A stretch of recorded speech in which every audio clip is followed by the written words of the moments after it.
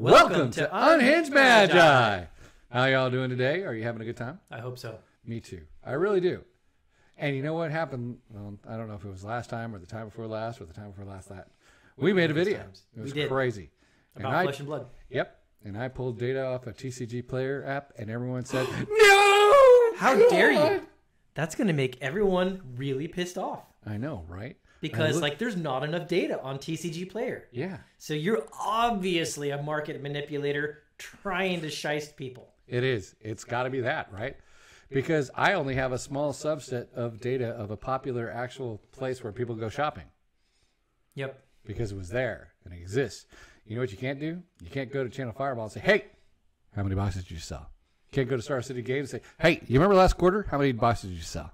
Yep. You can't do that. That doesn't happen. They're gonna call, they're gonna hang up on you. There's probably data out there that exists that people have access to. I don't have access to that and I don't know what it is. That doesn't mean I've done no market research whatsoever. But I mean, yeah, if people are to say, Edwin, you don't know about flesh and blood, all you know is magic, I'm not going to actually argue that too much. I mostly know magic. That's that's actually true. But do I have no attention to flesh and blood? No, I I do. I do pay Yep, yep. attention to it to some degree. And I do think the community is missing a few concepts. Oh yes, they are definitely missing a few concepts, but having a small subset of data is actually just fine for actual data.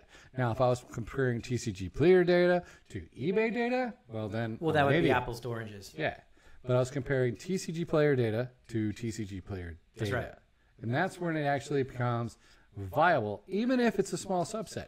Yep. So the sample size is in fact small. Yep, And that doesn't mean that your conclusions are wrong. It means that they're less reliable, which Correct. is true. Which is That true. is a 100%. valid point. Valid. However, the conclusions that we came to, I do stand by. It does seem to be the same story I see reflected in other places. Correct. And everyone has said we should ask the other whales that actually, you know, buy flesh and blood and that kind of stuff. Yeah. I have what 63 cases of Crucible. Yeah. I have over 200 boxes of Tales of Aria. You, sir, are a whale. Nah, I can't be one. No, you're a whale. I would never pay attention to data that I have lots of stuff in. So we when I said the whales and the investors are checking out, I didn't obviously mean all of them. Are there are there some that are remaining committed? Of course. Duh. Of of course. Yes. But are there a lot that did? I would say yes. and there I would is. say that this isn't just like a, an opinion thing. This is like where the market basically bears this out. And also, I, I want to call out that uh, many of these people that like responded in the comments and said, "Oh, you you're totally wrong because I bought a thousand boxes myself or a thousand cases." They did not buy them at pre-release prices. They waited and for for the crash to happen, and then they bought it. And then in my mind, that's exactly confirming what I'm talking about. They knew that those pre release prices were too high because they were bearish and they waited until they crashed. Then they went in and scooped them up cheap. Exactly. So I think that that's actually not in contradiction to what I said. I think that's No, exactly in agreement with what it's I said. exactly in agreement. Yep. And then we eh, then people were asking if we actually talked to anybody. Well, we do talk to do. people. Unfortunately, they usually say this. Okay, I'll tell you, but you can't tell anybody. And you can't. I mean, otherwise you don't get any information at all. Yep. And that's that's one of the hidden truths of anything that we do. Yep. So now, not only does like us two crazy jerks actually believe these theories that we're putting out there, that flesh, just wait. Just that, wait. This is awesome. And, and to quickly summarize for anyone, the, the theory is that Flesh and Blood is currently overprinted. It's oversupplied. That doesn't mean the game is bad. That Nope. doesn't mean it's going to fail. Nope. What we basically said in a nutshell was that it's now not on the collectors investors whether or not the game succeeds it's on the players hands Correct. and to be clear we want the game to succeed i love the game flesh and blood i think it's fantastic I do want it to stand the test of time. Yep. I have a lot of boxes in it. I'm I'm worried that if they overprint it, what's going to happen is they're going to remove the ability for the distribution chain to make money, the LGSs and the distributors. Correct. And they will start to not want to take it, which suddenly has a chain effect that goes down the whole thing. And eventually starts decreasing the print and starts making it hard to find, and then people start getting frustrated. There's a whole situation that can happen Yep. if you oversupply the market and destroy any level of confidence. And I don't want that to happen. And that means that it'll ha- start having a reduction in player base. Yep. Players go down. And then when you have a reduction in player base, that means less things get sold. Yep. That means it won't stand the test of time. That's what we're trying to say. So so let's have a little bit of There's sense here. And let's not shoot the messenger. Our message is not that we want flesh and blood to fail. Correct. Our message is here's a problem. Let's identify it, let's talk about it, and let's try as a collective community to make sure that this problem that actually exists doesn't persist because Exactly. we want it to to this game to actually go. Yeah, I think we all want it to succeed. I think that was the general consensus of all the comments. Now, you know what? Who actually also agrees with us? Ooh. It just so happens Mr. Rudy from Alpha Investments actually agrees with us. So Yes. what you guys see on the screen here, this is actually it's part of Rudy's Patreon message that he sent out very recently actually. And this is one real huge benefit of being a patron of Rudy's. Now we did That- ask him uh, before we even shot this video if we could Yeah. use this as yeah. data. Yeah, I, I literally like sent him a message and said, "Can I talk about this?" And he said yes. So I'm not breaking any rules here. So what you see on the screen is what Rudy just recently said to people about his take on what's going on with flesh and blood. Now, of course, I'm sure some people are going to be like, "Oh, well, Rudy's evil, and so if you guys agree with him, you must be terrible also." So if people take that perspective, I mean, I, I'm not going to like sit here and try and argue it.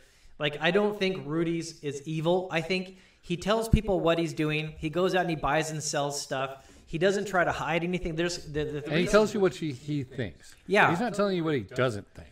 Right. There's no manipulation with Rudy. Like when people go to sell him stuff too cheap, and you shouldn't sell stuff that cheap.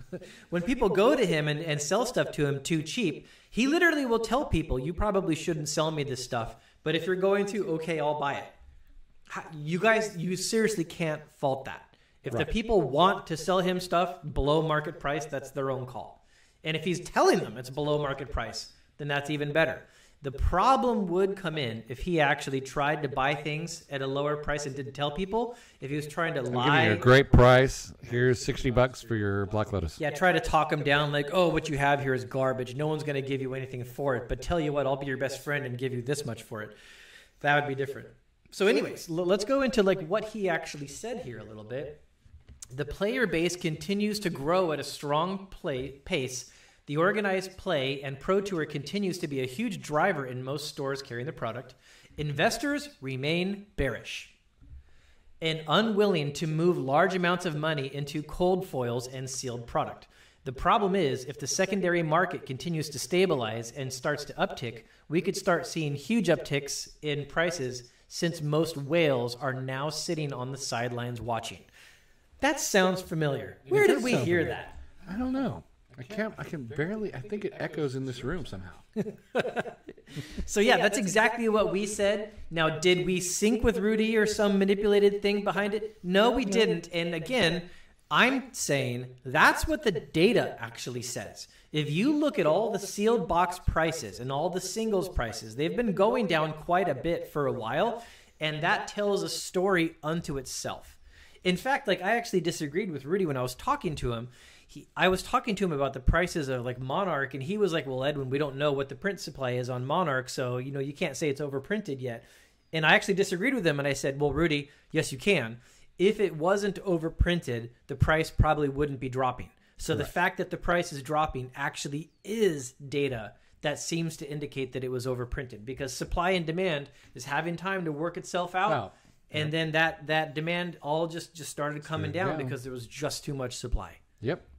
And he used to be buying them at two hundred dollars a box. He was, actually. And so now it's getting a much. It's getting actually fallen below that, right? Yeah, I think it's been stabilizing around like 150 for Monarch First Edition or something Yeah. like that. Then I think it creeps back up periodically and all that kind of stuff. Yeah, so I mean, he has a vested interest in wanting that to go back up because, as the world knows, he bought it at a much higher price. Of course. But you know, like I mean, yeah, we don't agree with Rudy on everything that we say that he says, but I respect what Rudy says. He's honest about the things that he says. I stand by Rudy because, like, not because I always agree with him, but because he's honest about what he actually does with it. And so I don't think he's like this evil person that people make him out to be. So Are they still making him out to be an evil person? Well, there's some people out there that, and I'm sure they're going to make this claim since we're kind of like, yeah, we agree with Rudy. They're probably going to throw that label on us. So, you evil jerk.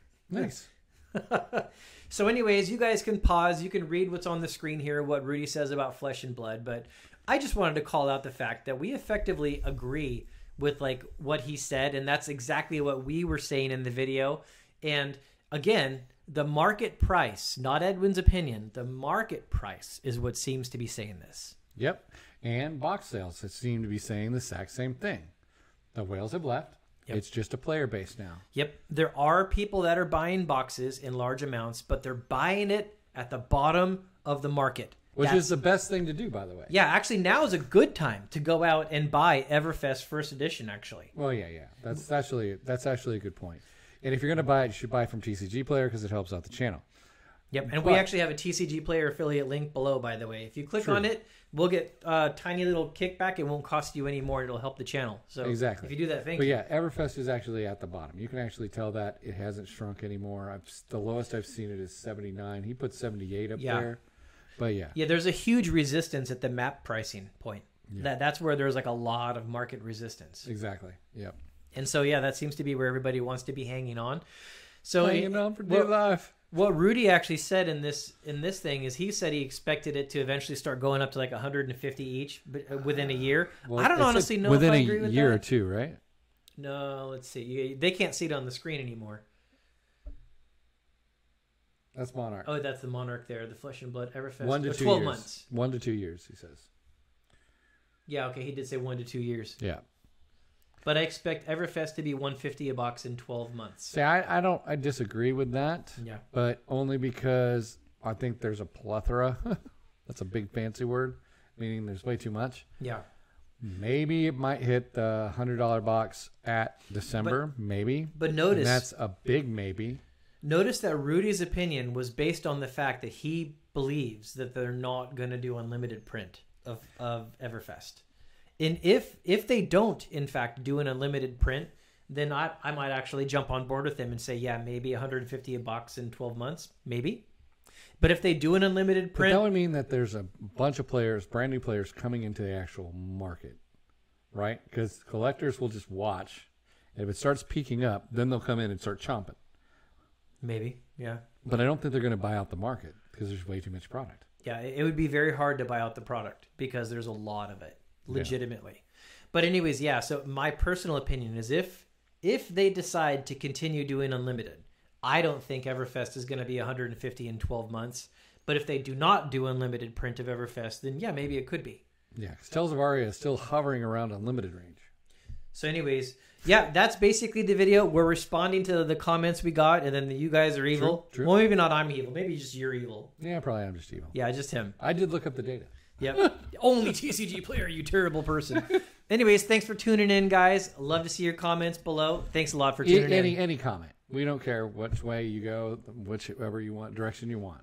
Any comment is just fine. It just means you're enjoying the show. Even if you disagree with us, put the comments in. Even if you don't like what we're saying, put the comments in. Just put the comments in. You're doing great. Okay. Thank you for the, all the comments. Okay. All of them. okay. Bye, everybody. Bye.